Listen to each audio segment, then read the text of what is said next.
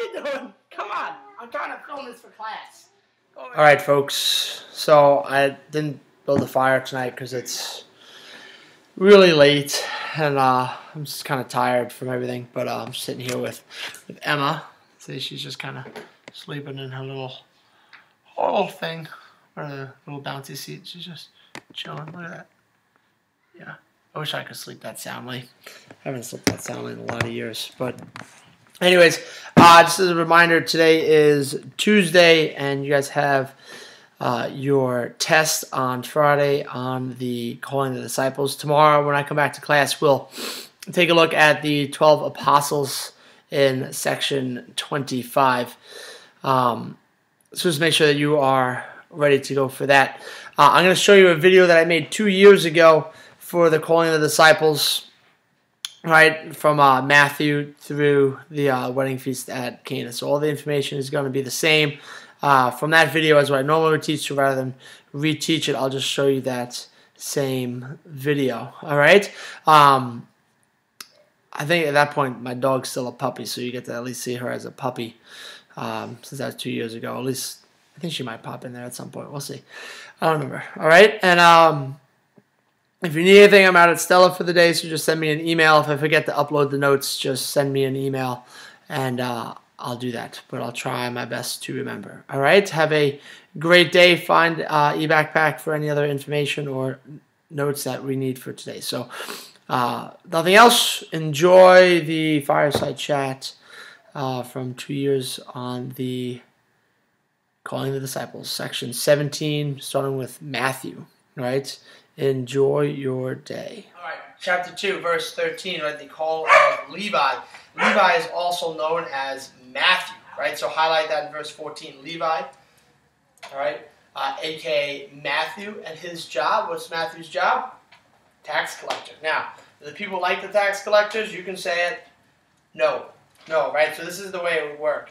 Um, the Romans were brilliant at doing this uh, at, at, getting people to kind of you know pay their taxes. So what they would do is they would go into an area and they would conquer the area and they would make their own people be the tax collectors. So, for example, from now on, every time you come into my classroom, there's a 25 cent tax to come into Mr. Moran's class. It's so it's so much fun, right? Tuition's not enough. 25 cent tax for each one of you uh, to come into my class from now on.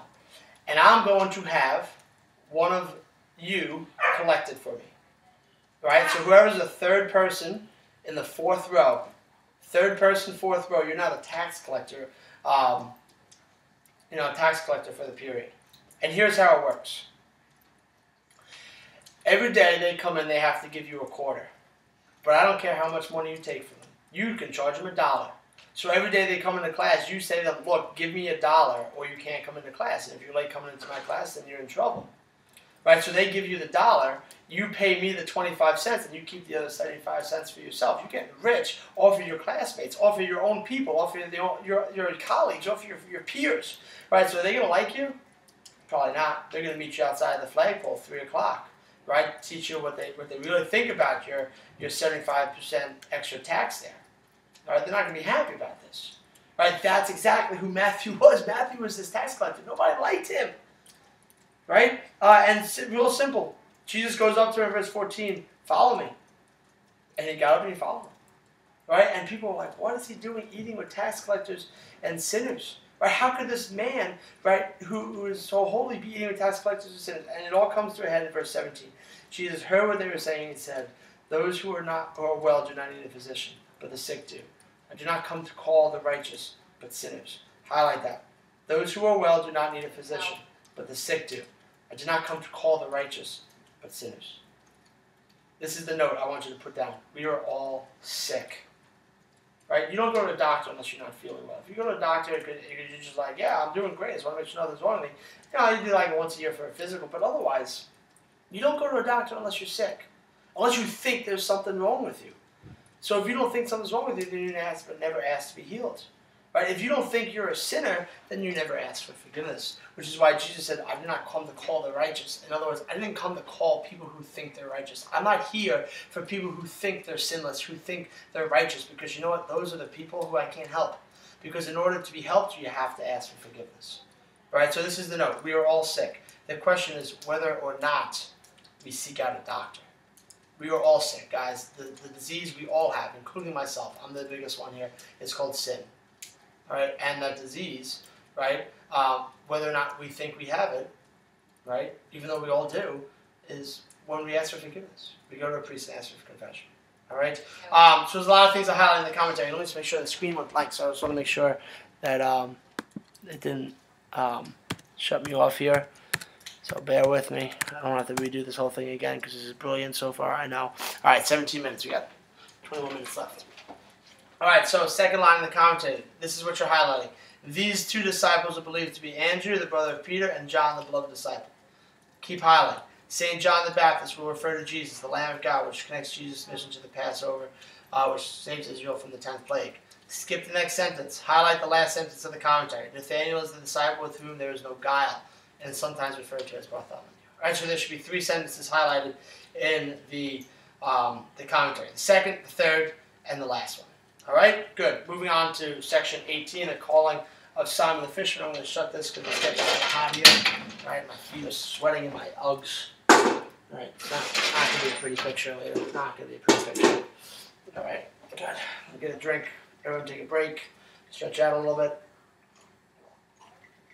Alright, section 18. Here's how we go. Jesus, right, approaches Simon Peter. And Simon's been fishing all night. And he hasn't caught a single thing. Right now, if you've ever been fishing, the, the, the idea of fishing really in, intrigues me my brother's always like, hey, yo, go, let's go fishing. I'm like, sure, let's go. And after about four minutes and like five casts, I'm like, this stinks. Right? And then after like seven or ten minutes, I'm like, what a gigantic waste of my time. I don't even like fish. I'm not going to eat the fish if I catch it. I haven't even gotten a couple nibbles. What am I doing here?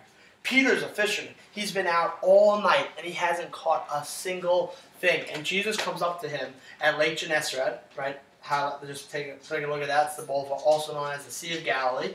Right, and says to him, "Have you caught anything?" He's like, "No." And he goes, "All right, let's go out and cast out into the deep. Let's go into the deep water. Let's go into the water which has the most amount of fish, but it's the hardest amount to catch."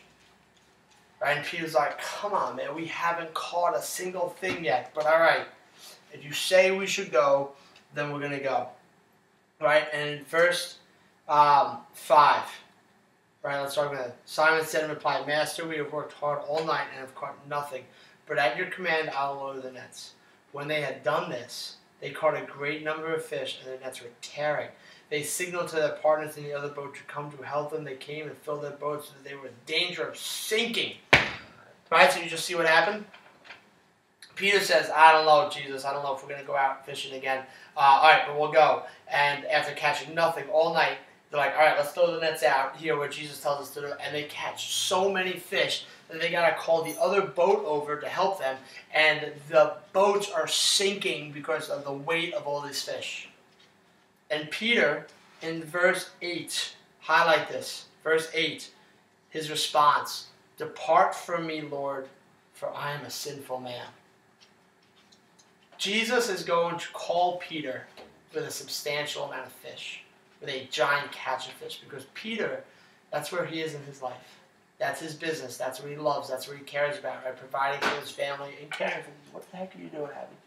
All right. Um, all right, that's where Peter is. And so Jesus is going to show him, look, I have power over everything, including something as simple as fish. And with this massive catch of fish, Peter is going to recognize, I am a sinner. I am a sinful man. I doubted you. And I need forgiveness right? So Jesus continues, right, in verse 10, right? James and John, the sons of Zebedee, right? That's James and John.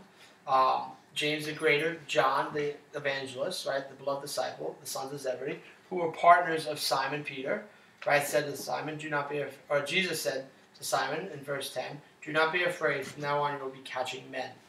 Right? So just highlight that. Do not be afraid. From now on, you'll be catching men right? The disciples are going to become fishers of men. In other words, they're going to be seeking to catch um, men, people, humans, for the kingdom of God, right? Spreading the, the good news, spreading the gospel, all right? All right, last thing, highlight in the commentary, last line of the commentary. It is this recognition of his own sinfulness and a willingness to repent that makes Simon Peter one of the greatest apostles. Dalwich, what's up? What do you want? Here, join that. Join that. Okay, good. Um, that's exactly true. Right? Simon Peter, right? What makes him so great is not, right? Is not that he is not a sinner. What makes him so great? Stop it. I don't have to beat you in front of the students. That's right. I just said that. Okay. All right.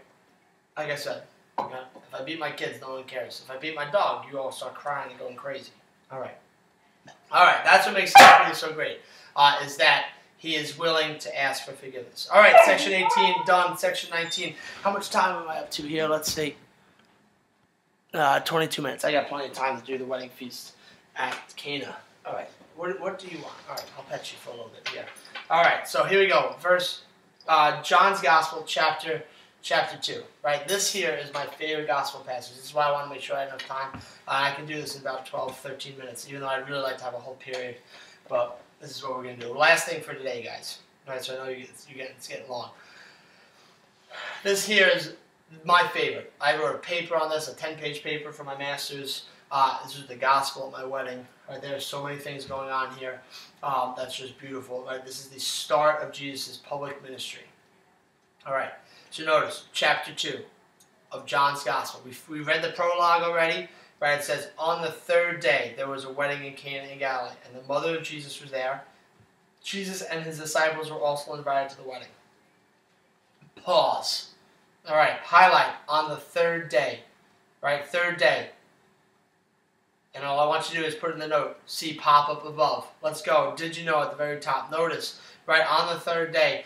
In John's gospel, chronologically, this is the third day after Nathanael was called. However, on a theological level, what John is doing is John is outlining the first seven days of Jesus' public ministry. And so on the third day here in John's Gospel, right, of the wedding feast Cana, is technically really the seventh day. The seventh day of Jesus' opening week ministry, right? And as it says, right, he is implying that creation, which was fashioned in seven days, is being transformed and renewed here through Christ. Jesus, who created the entire world in seven days in the book of Genesis, has now transformed it and renewed it at the beginning of his mission, the beginning of his ministry. Remember, Mary is the new Eve, right? Through the woman who ushered in temptation to the man, right now comes the woman who ushers in her yes, her, her humility to say yes to God, right? Which will then bring it to Jesus, who is the new Adam, right? Because through death, uh, from, through Adam came death, and through uh, Christ comes life. All right, so we have this new creation here at the very beginning. All right, second thing uh, theologically going on is that Jesus is going to manifest his glory here on the third day, just as Jesus will manifest his glory of the resurrection on the third day after his death. All right, so Jesus is going to start his ministry, the very first miracle he has, on the third day, right, to manifest his glory, to link us to the resurrection, as well as make the connection that God here uh, is recreating, retransforming the world. All right, let's keep reading. Verse 3. When the water ran short, the mother of Jesus said to him, They have no wine. Interesting. So at the wedding, Jesus is there with his mom and his disciples, right? So Jesus is obviously a pretty important guy if he gets to bring a bunch of guests. Normally, if you're invited to a wedding, you get one guest. But Jesus is invited to a wedding and he gets a lot of guests.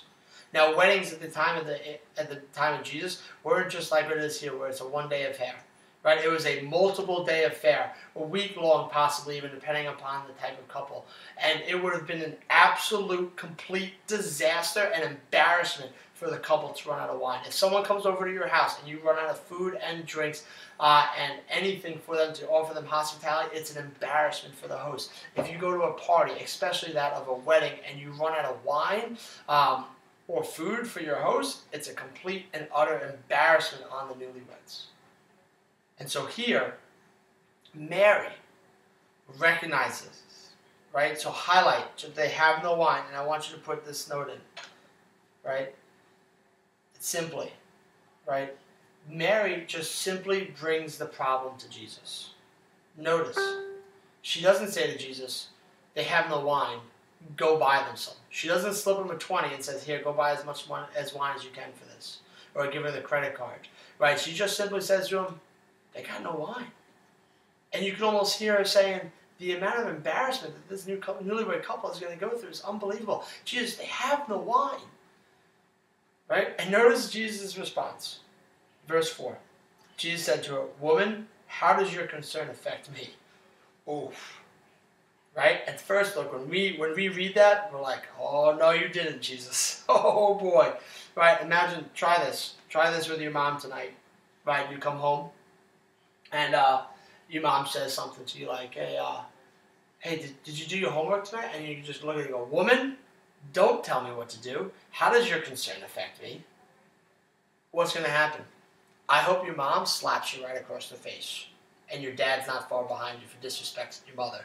Right? If you refer to your mom as woman, like woman, don't talk to me, woman, leave me alone, woman, how does your concern affect me? I hope I hope your parents give you a nice little backhand because that's just extremely disrespectful. Is Jesus disrespecting his mom? You know, when he says to a woman, How does your concern affect me? My hour has not yet come. No. Of course, Jesus is not disrespecting his mom, right? So just highlight that, right? Put down, Jesus is not disrespecting his mom, and see the pop up in the top right hand corner of the end, the plot thickens. All right? Remember, Genesis chapter 3, the proto evangel, the woman, right, is going to receive her punishment. I will put enmity between you and the woman, between your offspring and hers. He will strike at your head while you strike at his heel. The woman was Eve. The woman here is Mary. Her seed is Jesus, and her seed is about to destroy the head of the evil by starting his public ministry. All right? So he is not in any way disrespecting his mom. He is rather making the connection to the fact that Mary is the new Eve. And what he is about to do is fulfill Genesis 3.15. Also notice down at the very bottom, um, John is never ever going to name Mary in his gospel. She's always referred to as woman or the mother of Jesus. All right, so Mary continues, right, in verse 5. Right, so Jesus says, Woman, how does your concern affect me? My hour is not yet come. Verse 5. His mother said to the servants, Do whatever he tells you. Highlight that for me. Do whatever he tells you. This is like the Marianist motto do whatever he tells you.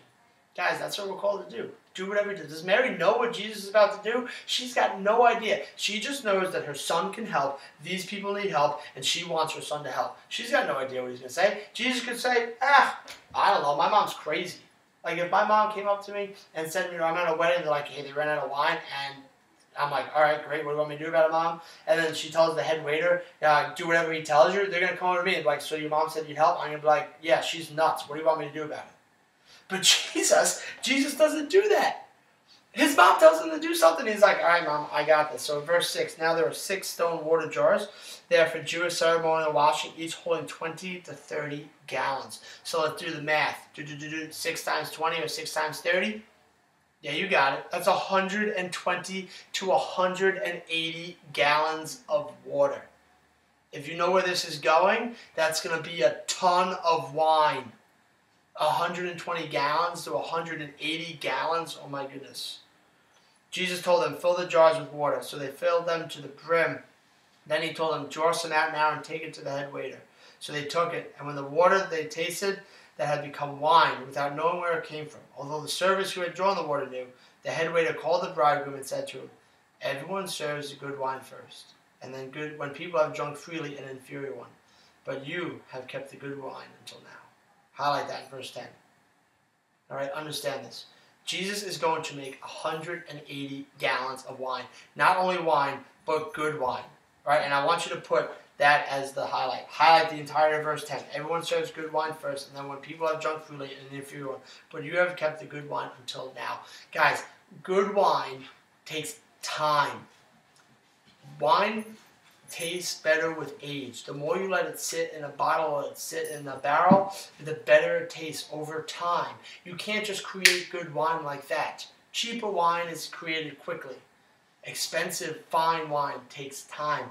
Jesus is able to create good, great, fine wine like that.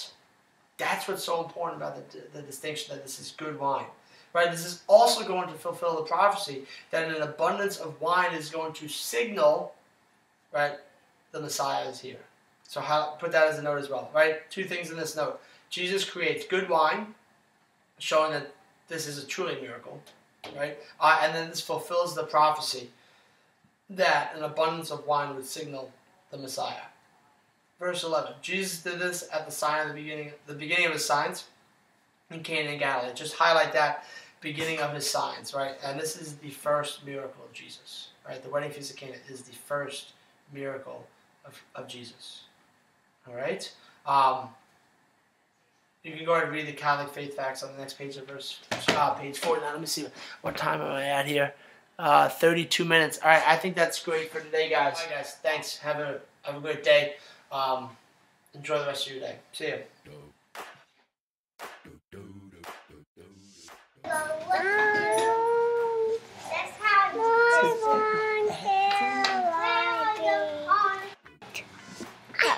That's me. I don't write. I don't talk. I don't care Okay. How do I do this, Daddy? Uh, oh. Did we just mess with it? Oh, Donny, Donny, boy. Let's do Oh, Will sing your long hair song or for the first time in forever? Oh, Johnny, Johnny,